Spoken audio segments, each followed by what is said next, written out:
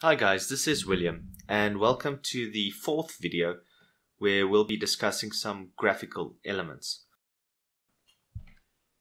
So in this section we will discuss graphic related topics. This ranges from how items are drawn in front of and behind other objects and how to set that. You do have the, the files available in the link below so you can go and grab these project files you can grab the documentation. So that's all available for you. Uh, once again, you have a scene and a scene underscore completed. Just make sure to open the underscore scene. This is the one you're going to work in. Now, the first thing I quickly want to show is just the object in our hallway, which is fish tank swim. Now, this is an animation right here that we've got. And it's a little fish that swims across the screen. Now this is obviously on our canvas. I can see it there. Uh, but let's quickly take a look if I play the game, how this appears. If I use the fish tank, okay, there's a slight offset. You can see there's a slight offset of the image. So I'm quickly going to change this so that it's more pronounced and I'll explain what I'm doing right now. Here I've got a preview area. So I want to preview my animation. So I just ensure it's ticked. There I can now access it and I can move it using this tool. So let's say I want to place this fish animation over this, this uh, under, underlying image. You can see that it's a bit difficult to align it, right? It's, it's very tough and there's a lot of trial and error. But let's, let's do a very job, a bad job. Let's leave it there and let's play our scene. And look at that, that's very pronounced. That's a very pronounced uh, offset, which is not great. Now, what is an easy way to align your animations with the background scene? You do this in the preview area. Here, I enabled the image to be shown on my canvas. And then I have something called a visibility slider. So I'm just going to take this lower and you can see now my animation is transparent, which allows me to properly align it with the under underlying image. There we go. And this I can move up again. Now keep in mind that this has no effect in the game itself.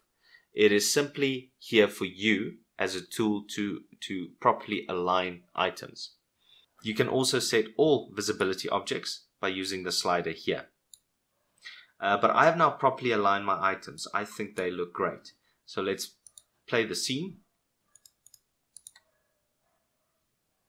Still a slight offset. We can make that better. Let's quickly just do that. Just one or two.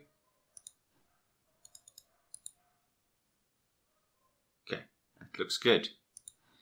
So let's talk about drawing order. And for this, I've created a scene called Draw Example. Now what we have here, we have a room with two objects, a green box and a red box. And what I also have here is I have a way system entered. So here are my way borders. Here my character can walk. These areas in here, my character cannot walk. If you wanted to exclude areas from being walkable, click on way borders. And here when I press alt on my keyboard I can now select areas like that and my character cannot walk in that area. So that's how I did this. And then here I have my waypoints. Character can walk from there to there and so on. Now let's play my scene and take a look. Okay, so this is clearly not okay right? Doesn't look okay at all and the reason is it's because of how these objects are drawn. Now, all objects are drawn based on a draw list. If I go back to my object, here I have my draw list. Objects are drawn on your screen in a specific order, and this really defines what appears in front of and behind your character and the order of how objects are drawn as the scene appears. So in my example here, I can see that we've got two objects. The red box is drawn behind the green box at this point in time. Now, the reason why this is, is it's because of this draw list right here. The draw list defines how the objects are being drawn. This, the red box gets drawn first, then the green box, and so on. I can change this. If I wanted to change the draw order, I can just use the arrow right there. And look what happened. But this doesn't look right. So I'm going to change this back by using these little arrows. Right? This looks fine. But now still, even though objects are being drawn correctly, my character is not being drawn correctly in relation to these objects. Now what's going on here? We need to define what we call an object center for each object. And this is how Visionaire will know when to draw things in front of and behind our character when our game plays. So what we need to do is we need to select our object. I'll select my green box. And then on the properties page, we have what we call an object center. Currently, this is set to minus 1, which means our character is not drawn correctly. So we need to set it by clicking on this little button right there. And when I do this, I'll get a separate screen. And I now need to define the object center. I'm going to click right there, and then I see a line appears. Now what this means is that if my character is above this line, it will be drawn behind this object. If my character is in front of this line, it will be drawn in front of my object, right? And I'm going to do exactly the same for my red box. I'm going to do that there, and I'm going to click OK. So now let's play our scene. That looks a bit better. There we go. Perfect. That's exactly what we wanted. Right? So it looks a lot better and items are being drawn as we want. The last very important item here is this button called Sort Objects by Object Center.